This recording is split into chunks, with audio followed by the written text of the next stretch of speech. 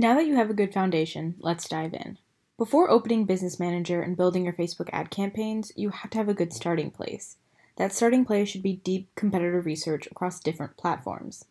Although you may want to skip this step and get started right away, this is an integral part of building successful Facebook ad campaigns. Logging onto Facebook and Instagram, you're probably used to seeing multiple sponsored posts and suggested sponsored posts from brands you're following and from those you're not. Gone are the days of seeing ads in one or two places.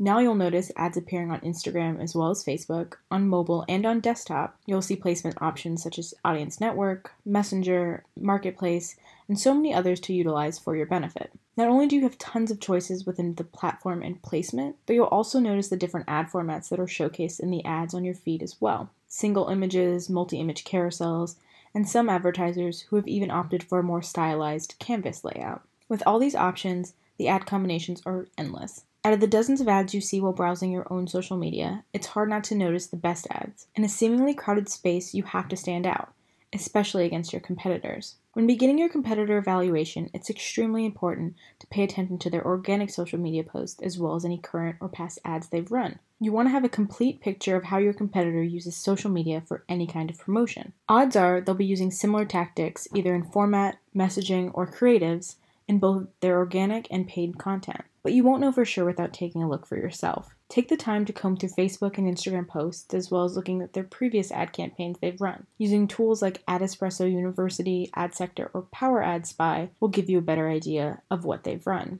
Don't be afraid to take notes, screenshots, really whatever you need to have something to reference when building out your own campaigns. Once you've collected some good data from organic and paid social media, it's time to turn your focus to alternative platforms that you may not have initially thought to check. There's a wealth of knowledge in forums, message boards, groups, and even blog posts that can give you further insight into your competitors' strengths and weaknesses. This is something that not many people do while working on their research, mostly because they don't even consider it in the first place. Put yourself in the mindset of your customer and start seeking out where you'd go first, second, and third for more information. Check Amazon for product reviews, questions and answers.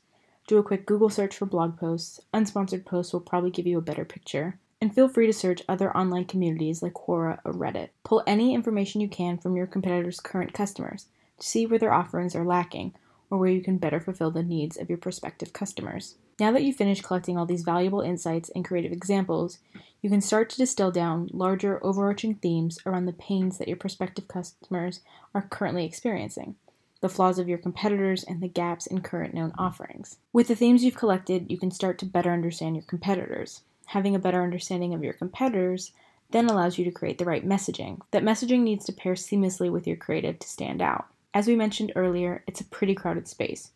You want to ensure that the creative choices you make are based on research you've done, not your own personal preferences. Seeing examples of where your competitors have failed in the market provides you an opportunity to better serve that area. Understanding themes in your research will not only help you better evaluate the marketplace as a whole, but produce better Facebook campaigns.